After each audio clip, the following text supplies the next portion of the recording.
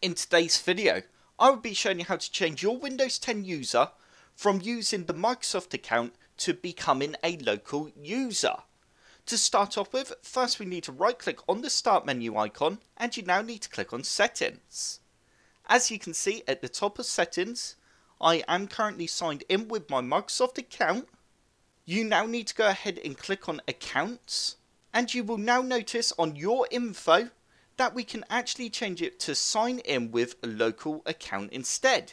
You now need to click on this link here and you now need to go next and you now need to type in your Microsoft account password. I'm going to go ahead and do that now. And you now need to type in a username for the local user. As you can see, mine actually has already auto-filled a username.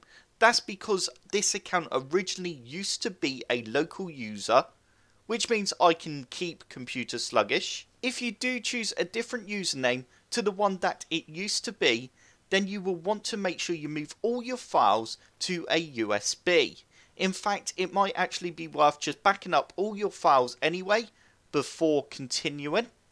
You now need to type in a password. I'm going to go ahead and type in a password now and a password hint.